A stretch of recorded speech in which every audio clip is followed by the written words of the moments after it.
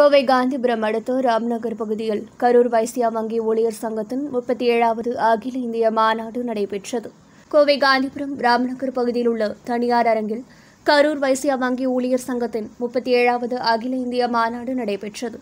இந்த மாநாட்டு நிகழ்ச்சியினை இச்சங்கத்தின் தலைவர் ஆறுமுகம் தலைமை தாங்கி துவக்கி வைத்தார்.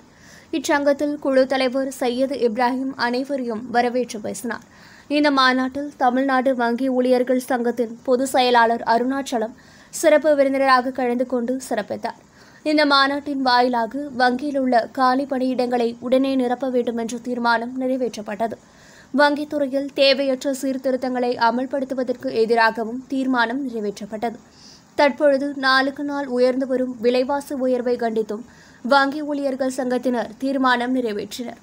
இந்த மாநாட்டில் சிறப்பு விருந்தினராக ரமேஷ் பாபு அகில இந்திய வங்கி ஊழியர் சங்கத்தின் இணைச் செயலாளர் ஸ்ரீனிவாசன் தனியார் வங்கி தொழிற்சங்கங்களின் கூட்டமைப்பின் தலைவர் விஸ்வநாதன் கரூர் வைசிய வங்கி அதிகாரிகள் சங்கத்தின் பொதுச் செயலாளர் ரங்கன் மற்றும் ராஜேந்திரன் வெங்கடேசன் என பலரும் கலந்து கொண்டனர் என்பது குறிப்பிடத்தக்கது.